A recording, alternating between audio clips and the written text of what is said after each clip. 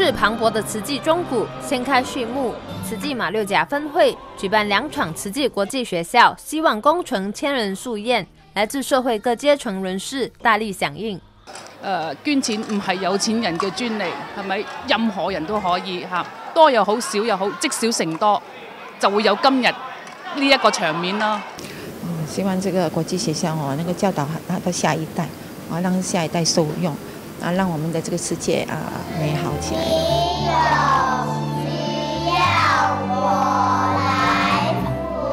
家长希望给孩子怎样的教育？慈济开办国际学校，兼具学术与人文的教学理念，用爱成就孩子的未来。我想，我们就是办学校，最重要，就就是要有爱，它会带给我们马来西亚一个新的一个教教育的心流，教育的新的风气。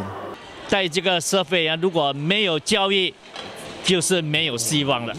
所以，谢谢你们带给他们有期望又有希望的一天。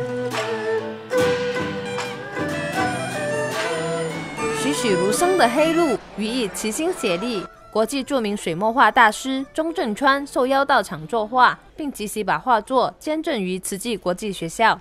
这张画的最大的含义就是。希望社会人士像你们慈济人一样，同心协力，建立这个社会的一种为以后的工程。在马六甲州多了一间好学校，多了一间爱的学校，来为孩子造福。大家一心成就国际学校。八十岁的叶瑞芳把女儿送给他的三千令吉生日贺礼悉数捐出。教育最重要的，拿钱没有用的嘛，要给建学校、帮助人才好吗？